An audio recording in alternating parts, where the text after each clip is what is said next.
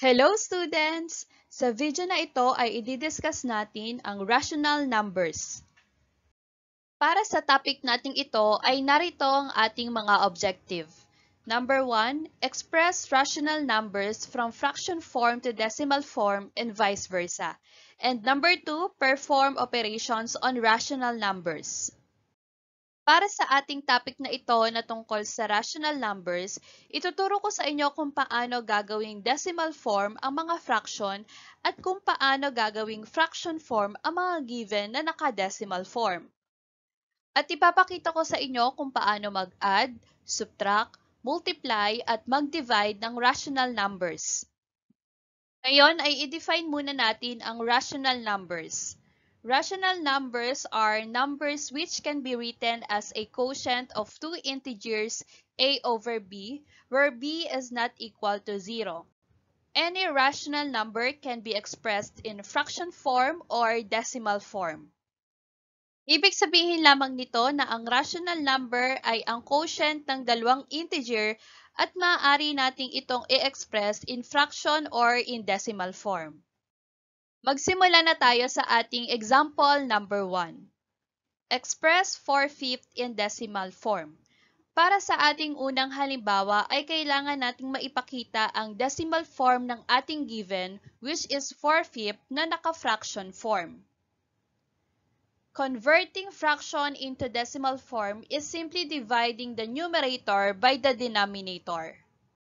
Para magawang decimal form ang ating fraction, kailangan lamang nating i-divide ang numerator by the denominator. Sa ating given, ang 4 ang ating numerator at ang 5 naman ang ating denominator. Kaya meron tayo ditong 4 divided by 5. Dahil mas malaki ang value ng ating divisor which is 5, kailangan nating magdagdag ng 0.0 kasama ng 4. Ngayon ay maaari na nating i-divide ang 4.0 by 5. So, 4.0 divided by 5 is equal to 0.8 or 40 divided by 5 is equal to 8. And then, i-align lang natin ang decimal point dito sa ating quotient. Therefore, 4 fifth in decimal form is 0.8. So, ganun lamang ang ating gagawin kapag nagko-convert tayo ng fraction into decimal form. Kailangan lamang natin i-divide ang numerator by the denominator. Para sa ating example number 2 ay baliktad naman ang ating gagawin. Express 0.8 in fraction form. A decimal is expressed to fraction form by using its digits disregarding the decimal point as the numerator and selecting the correct power of 10 as the denominator. The fraction is then expressed in simplest form. Para sa ating pangalawang halimbawa ay kailangan nating ma-express ang ating given na 0.8 into fraction form. Una ay kailangan nating i-identify ang place value ng ating digit which is 8 at ang place value nito ay tenths. Kaya naman, mayroon tayo ditong 8 over 10. Ang 8 ay ang ating given digit at ang denominator naman nito ay ang place value ng ating given, which is tenths. Ngayon ay kailangan na nating i-simplify ang ating nakuhang fraction which is 8 over 10. Para ma-simplify ang fraction, ay kailangan nating i-divide ang ating numerator and denominator sa kanilang greatest common factor or ito yung pinakamataas na number kung saan maaari nating i-divide ang dalawang ito. Para ma-simplify ang 8 over 10, i-divide natin ang ating numerator and denominator by 2. 8 divided by 2 is equal to 4 and 10 divided by 2 is equal to 5. Kaya naman ang simplest form ng 8 over 10 is 4 fifth. Therefore, 0.8 in fraction form is 4 fifth. Ngayon naman ay ang mga halimbawa para sa operations on rational numbers. Unahin na natin ang addition. To add or subtract similar fractions, add or subtract the numerator and copy the common denominator. reduce the lowest term if necessary. Para sa ating example number 3 ay mayroon tayong similar fractions. Ang similar fractions ay ang mga fraction na mayroong parehas na denominator. Madali lamang mag-add ng similar fractions. Ang gagawin lamang natin ay i-add ang numerator at kokopyahin ang common denominator. Kaya naman 3 over 8 plus 1 over 8 is equal to 4 over 8. Ang 4 over 8 ay maaari pa nating i-lowest term. I-divide natin ito sa 4 over 4. 4 divided by 4 is equal to 1 and 8 divided by 4 is equal to 2. Kaya naman ang lowest term ng 4 over 8 ay 1 half. Therefore, 3 over 8 plus 1 over 8 is equal to 1 half. Ang sumunod naman nating halimbawa ay subtraction of similar fractions. 4 over 6 minus 2 over 6. Dahil ang dalawang ito ay similar fraction, kailangan lamang natin isubtract ang numerator at kopyahin ang common denominator. 4 minus 2 is equal to 2 and kakopyahin lamang natin ang 6 sa ating denominator. Ang 2 over 6 ay maaari pa nating i-lowest term. I-divide natin ito sa 2 over 2. 2 divided by 2 is equal to 1 and 6 divided by 2 is equal to 3. Therefore, 4 over 6 minus 2 over 6 is equal to 1 third. Ang susunod naman nating halimbawa ay addition of dissimilar fractions or ito yung mga fraction na magkaiba ang value ng denominator. To add or subtract fractions with different denominators or dissimilar fractions, change them to equivalent fractions by finding the least common denominator or LCD, then apply the rules in adding or subtracting fractions with the same denominators. Para i-add ang dalawang dissimilar fractions ay kailangan muna nating i-identify ang kanilang least common denominator. Or ito yung pinakamababang common multiple ng ating dalawang denominator. Sa ating given na 3 fourths plus 1 over 6, ang ating LCD or least common denominator ay 12.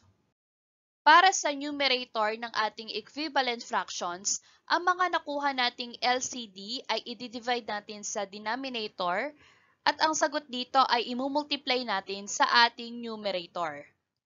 Atin na itong subukan. 12 divided by 4 is equal to 3 and 3 times 3 is equal to 9. Dito natin siya ilalagay. Ang sumunod naman ay 12 divided by 6 is 2 2 times 1 is equal to 2. Ayan, at mula sa ating mga given na dissimilar fractions, ay mayroon na tayo ngayong mga similar fractions, ang 9 over 12 plus 2 over 12. Ngayon ay susundin lamang natin ang rule kung paano mag-add ng similar fractions. 9 plus 2 is equal to 11 at para sa ating denominator, kokopihin lamang natin ito.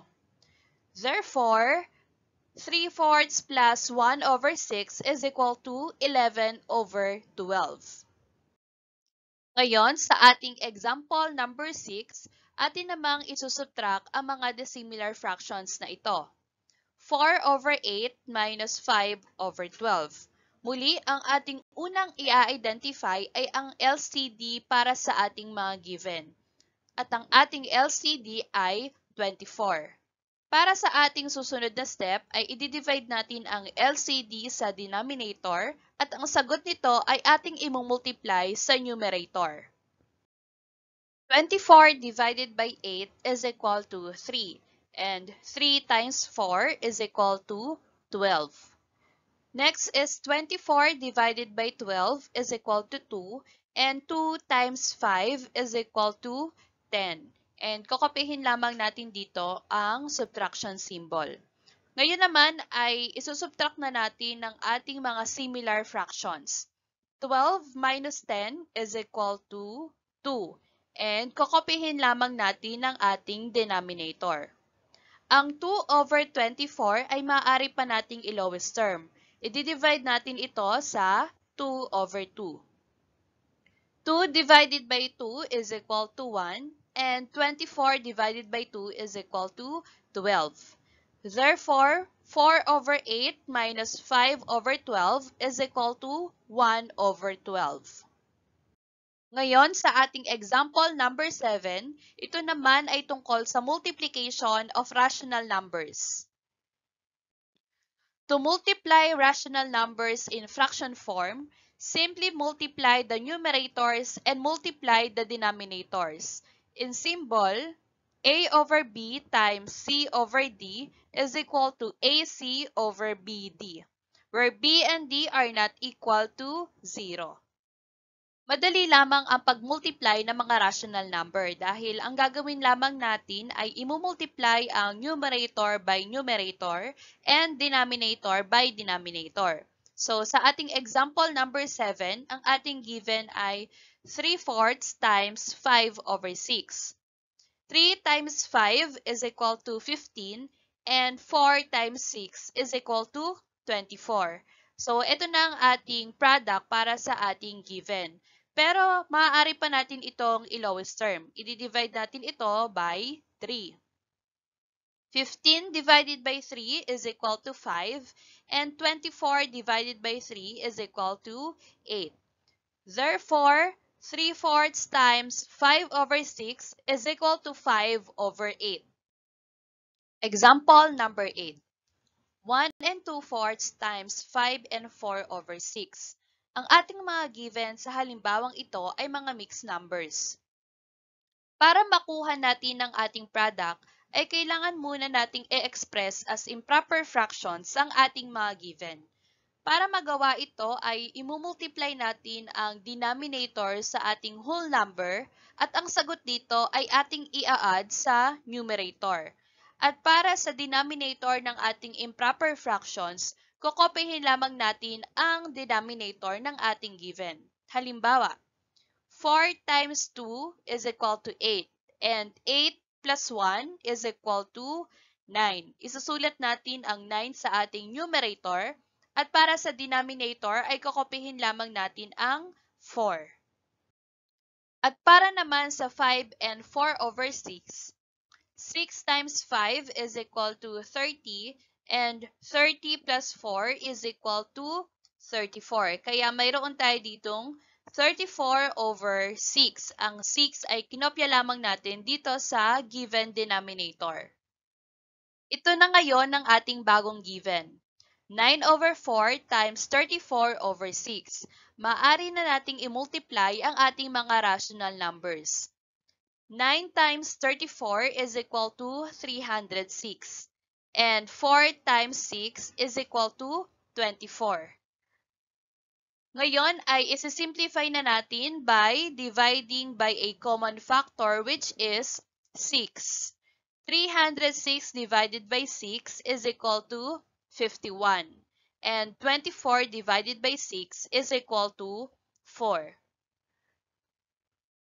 Ang 51 over 4 ay maaari na nating ibalik bilang mixed numbers. Ang ating gagawin ay i-divide lamang natin ang 51 by 4. 51 divided by 4 is equal to 12. Ang 12 ay ang ating whole number.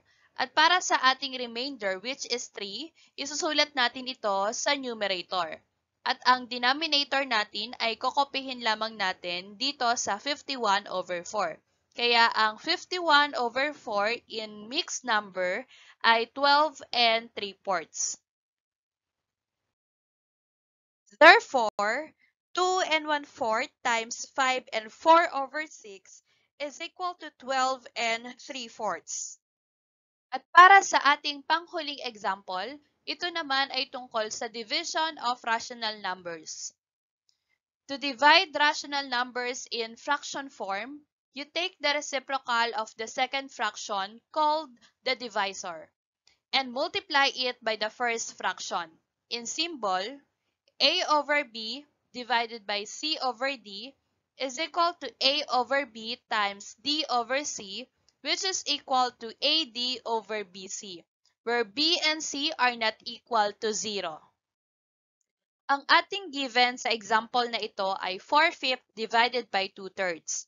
Ang unang step kapag tayo ay nagdi-divide ng rational number ay kunin muna ang reciprocal ng second fraction or ng ating divisor. Ang reciprocal ng 2 thirds ay 3 over 2. Kapag nakuha na natin ang reciprocal, ay maaari na tayo mag-proceed sa ating operation which is multiplication. 4 times 3 is equal to 12 and 5 times 2 is equal to 10. Ang 12 over 10 ay maaari pa nating i-simplify. I-divide natin ito by 2. 12 divided by 2 is equal to 6 and 10 divided by 2 is equal to 5.